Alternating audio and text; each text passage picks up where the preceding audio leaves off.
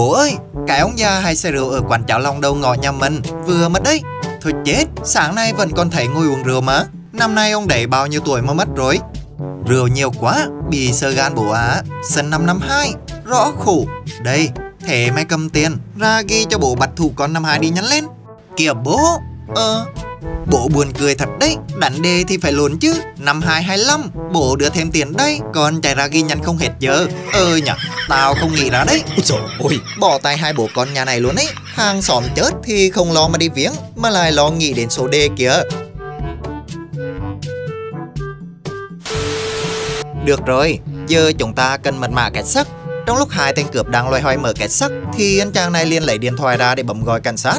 À à, thằng Liêu, Tao cho mày mất cái tay hư. Chờ đã, đừng làm thế. Tay tôi mà gãy thì các người sẽ hối hận. Mặc cho nạn nhân kêu gào Tên cướp vẫn đánh que tay anh ta. À Ngầm mồm vào Và nôn mã kẻ sắc ra. Có hai mã bảo mật Đầu tiên là nhập 228922 Sau khi tên cướp bấm đúng mật khẩu Cánh cửa kẻ sắc được mở ra. Và cánh cửa đấy chính là một cái đàn piano Mã thứ hai chơi đồng bản số nát đàn trăng của Beethoven, nghệ sĩ piano nổi tiếng, anh Kim Si Won, 32 tuổi. Trời ơi, đã bảo đừng đánh gãy tay anh này rồi mà không nghe. Bây giờ thì làm sao có thể đánh đàn để mở mật mã thứ hai của kẻ sắc này đây?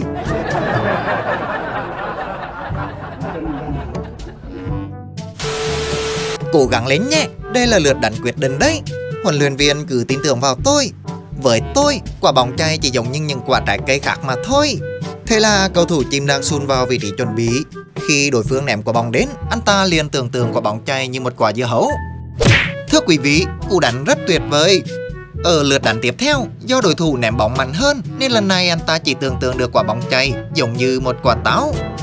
Mặc dù vậy, anh ta vẫn có một pha đánh bóng tuyệt vời, nhưng ở lượt đánh bóng thứ ba thì quạt dục hốt phát, cái nồi như thế này.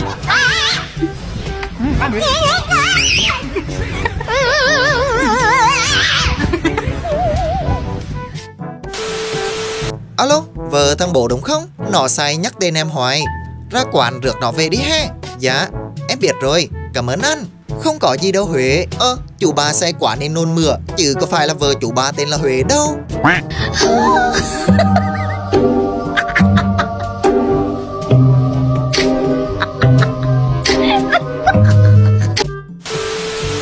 Peter, chơi cùng mình đi. Mình cũng muốn lắm Nhưng mà mình cao quá Sợ không vào được. Đừng lo mình còn một cái khác nữa.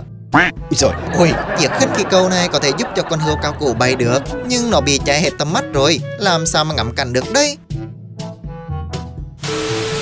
Con ma ở dưới gầm giường Thấy một lá thư bay đến vị trí của nó. Từ nay tớ sẽ là bạn của cậu. Cậu sẽ không còn cô đơn bên dưới chiếc giường nữa. Wow, cậu thật đáng yêu. Oh shit nhấn đăng ký và bật chuông bình luận chia sẻ.